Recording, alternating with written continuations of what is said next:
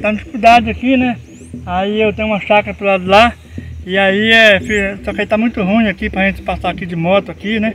E também carro também não passa, a gente precisa levar gado também pro lado de lá e tal.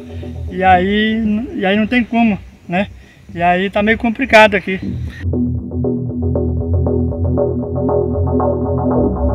Aí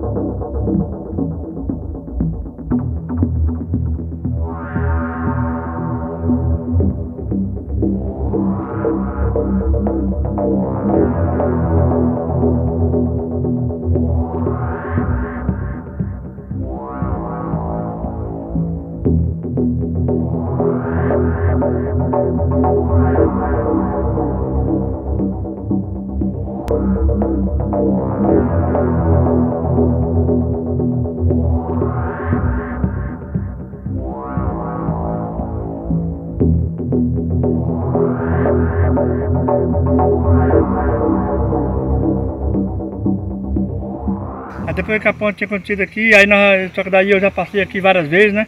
Que aí eu tenho gado lá embaixo e tal.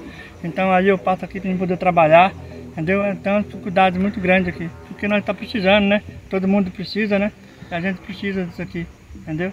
Aí, é, que quanto mais rápido, melhor é para nós aqui.